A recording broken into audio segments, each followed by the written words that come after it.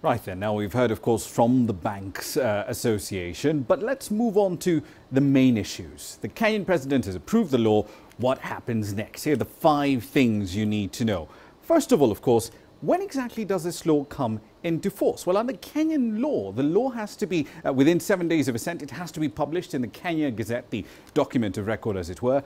After that, there's another 14 days into which it will come into force, unless, of course, the version that he signed had a specific commencement date. Now, by that timeline, therefore, the earliest the Banking Act can come into force is somewhere around the 15th of September. Now, those of you who have followed this law very keenly will ask, hang on, but the central bank was against this thing.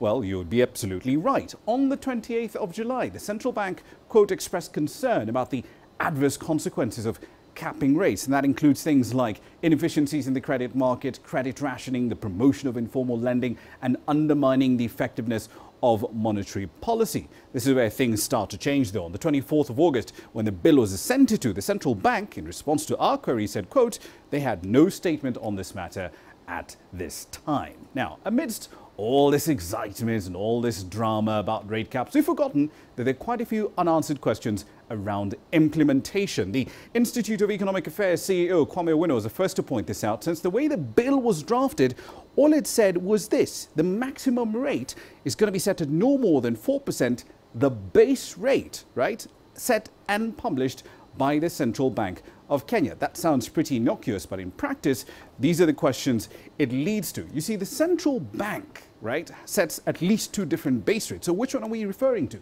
The central bank rate, which is 12.5%, or are we talking about the benchmark rate for retail lending, which is KBRR, and that's much lower at about 8.9%.